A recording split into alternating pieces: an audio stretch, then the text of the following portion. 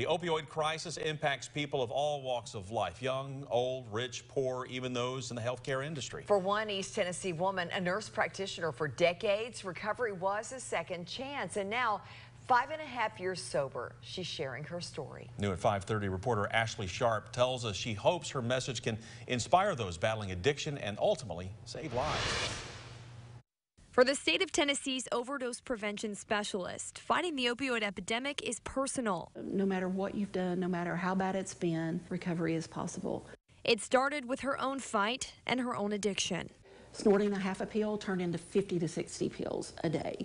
So if you put a uh, money amount on my drug habit, it was about $1,800, $2,000 a day.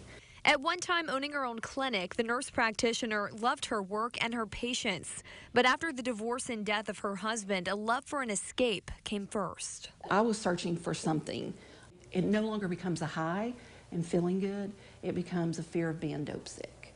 About three years of writing prescriptions to feed her addiction led to a breaking point. TBI raided my clinic. There was one gentleman there that showed empathy toward me and I never will forget that. And it's the one time that I felt like, okay, this is it, I can find recovery.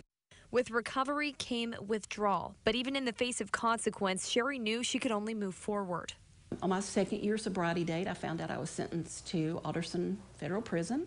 My license had to be surrendered. After prison, Sherry started a new fight to get a job and regain her nursing license, something she would come to learn was an uphill battle.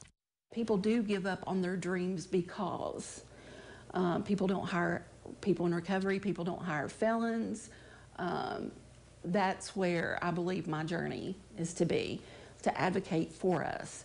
Craig Forrester of Recovery Resources says jobs give those in recovery purpose and direction. We've got to show them as people in recovery that, that we can change. And what that looks like is we show up early, we stay late, we bring a good attitude to work, and we can show a, tr a true transformation of what can happen in someone.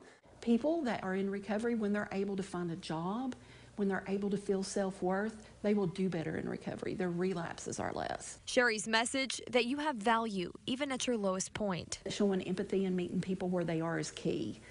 Um, and that's what it took for me. And she's one of the few to accomplish what many saw as the impossible, preventing opioid overdose here in our region. Plus, she finally did regain her license to practice nursing. It's an inspiration to me to know that, again, I am trusted in that field from the Board of Nursing.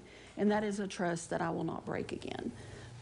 Now, Sherry tells us that she fought to get her license and career back because she knew that so many recovering addicts do not. That's something she wants to change. She's also a harm reduction activist advocating that Narcan saves lives, making sure it's readily available throughout the region.